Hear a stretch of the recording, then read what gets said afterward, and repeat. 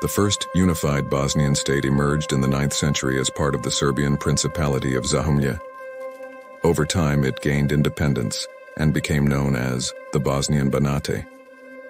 The rulers of the Bosnian Banate